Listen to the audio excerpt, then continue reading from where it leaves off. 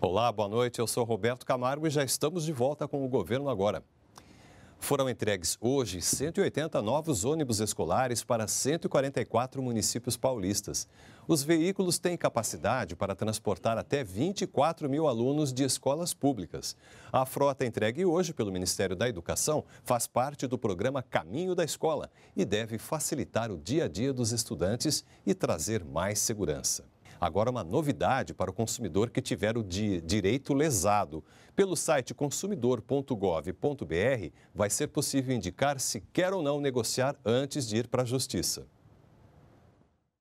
Agora, se o consumidor optar pela negociação no site consumidor.gov.br, uma plataforma que permite a resolução de conflitos, a empresa tem 10 dias para entrar em contato, prestar esclarecimentos ou propor um acordo. Depois disso, o consumidor aponta se o problema foi resolvido ou não. Se não, o processo segue o fluxo na justiça. A justiça, em vez de ter mais um processo, ela vê esse problema resolvido. Para o consumidor, em vez de resolver em dois anos, que seria o tempo médio lá do judiciário, ela resolve em sete dias.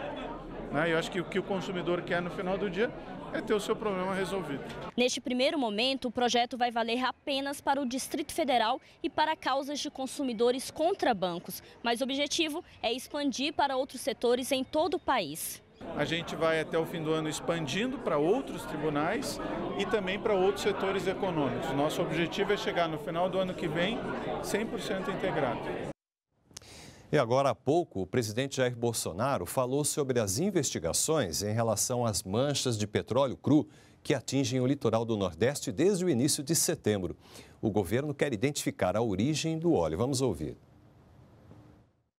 O que está constatado que existe um DNA esse petróleo, né? Esse termo que nós aí estamos usando, ele não é produzido no Brasil e nem comercializado pelo Brasil.